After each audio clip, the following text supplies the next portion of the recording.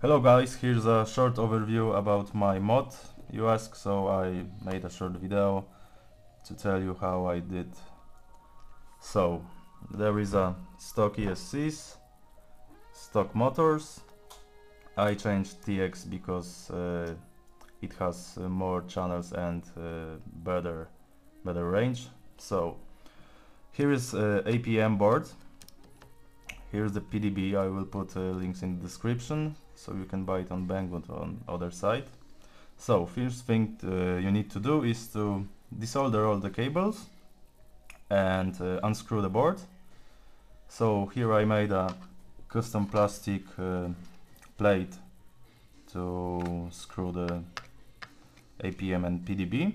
Just cut in a shape like uh, it was on FC and screw the APM and the board.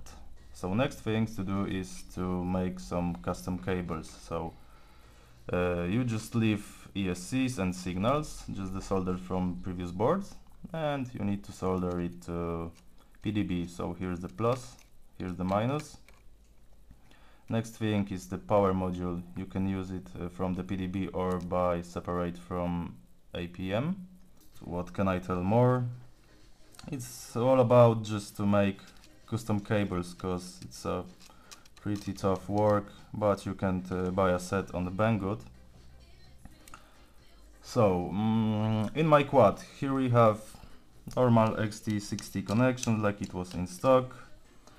I removed the USB connector board.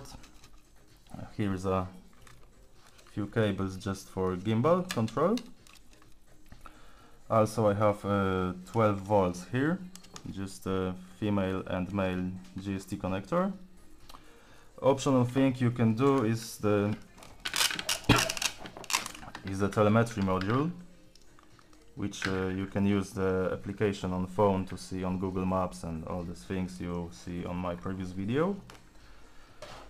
Here's the uh, ground module for this telemetry. You can connect it to your phone or just PC or laptop, whatever. And the next one is the GPS GPS in stock place like like it was before. Just uh, I made some custom cables because I I'm using a compass in a rear right leg. It's a XK compass because it has less interference that it this combo in the shell. So it's better to have it in the leg next thing I did is uh, I installed the 450 legs to remove the legs from view of a camera. So even if you have a gimbal in the center you will not see the legs but if you have um, white wide kurwa wide field view. Even if you have a wide field of view you can always unscrew the one one screw here and put it even wider so no way you will have uh, legs in the video. So I hope you have an idea how to do this. It's not a big deal just a lot of cables. So quad looks like this now. It's not maybe a beautiful one but he's a beast so so check. There is no LEDs like it was in stock. No real LED also. And let's put it on the weight. So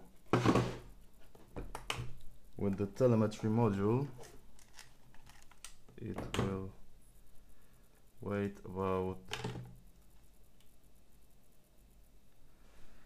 615 so it's like a stock one. And without the telemetry without the telemetry it weighs about 60 let's say. Yeah 60, 600 grams. So thank you for watching and of course if you have uh, any questions let me know. I will try to answer. So give a thumb up and bye